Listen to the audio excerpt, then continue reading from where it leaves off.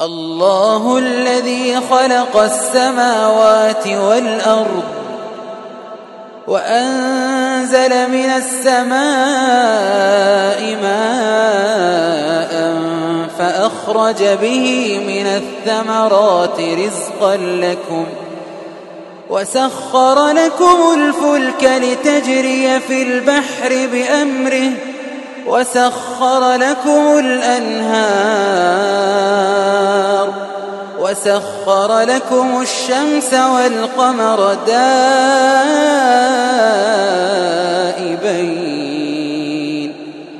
وسخر لكم الليل والنهار. وآتاكم من كل ما سألتموه.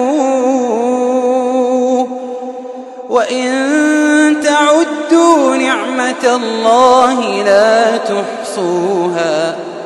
إن الإنسان لظلوم